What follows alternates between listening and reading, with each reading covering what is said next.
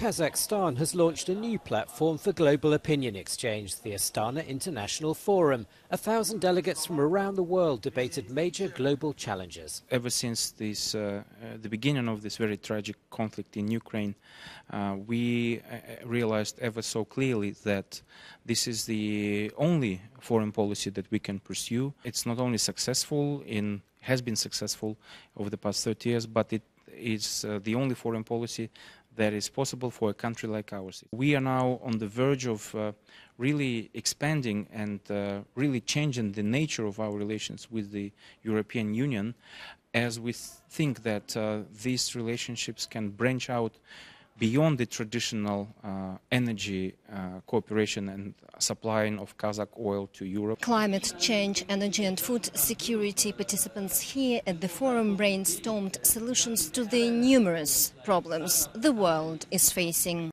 In Europe, the main challenge is uh, lack of generational renewal how to encourage young people to be a farmer. During uh, one decade, we lost 3 million farms in European Union to give uh, good proposal for the young people to be a farmer. This is not only the question of uh, economy, but this is the question of condition of life on, on rural areas to improve standards of life. The forum took place over two days.